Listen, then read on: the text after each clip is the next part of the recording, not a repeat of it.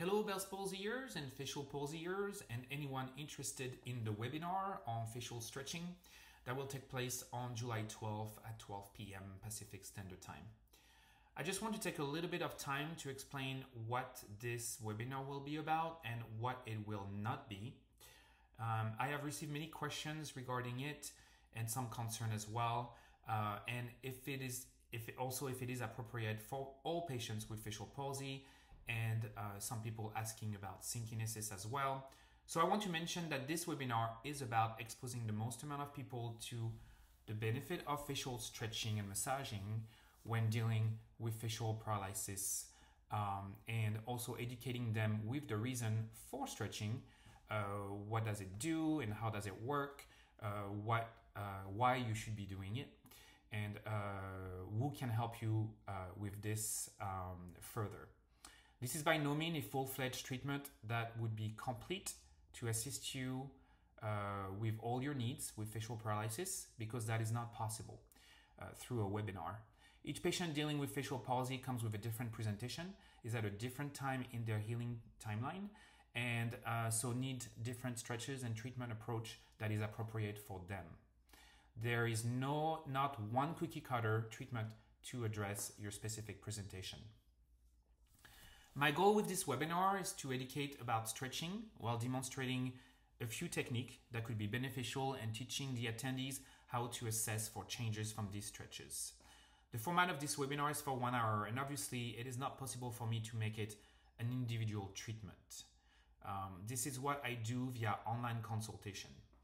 I believe this webinar will be greatly beneficial for anyone affected by Bell's palsy and that might not know or have tried any stretching. Um, if you are early in your recovery and or several months into it, where you are seeing some slow changes and uh, feel some areas of tightness, I would say this webinar should be beneficial. If you are struggling with synkinesis, this is not a webinar for you. I made it clear on the landing page that this treatment is not for these patients. Treating synkinesis is much more complicated and is not treatable via a webinar.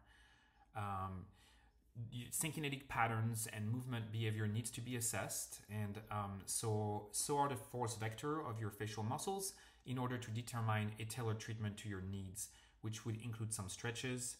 Um, but the stretches demonstrated on the webinar would likely not be either the appropriate stretch for you and or not sufficient. So um, once again not for synkinesis.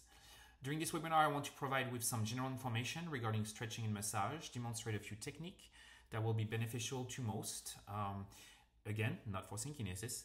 And from the patient that I help every day and uh, the feedback I'm getting from the Bell's Palsy Solution Facebook group, I realized that most people are not referred or exposed to facial therapy.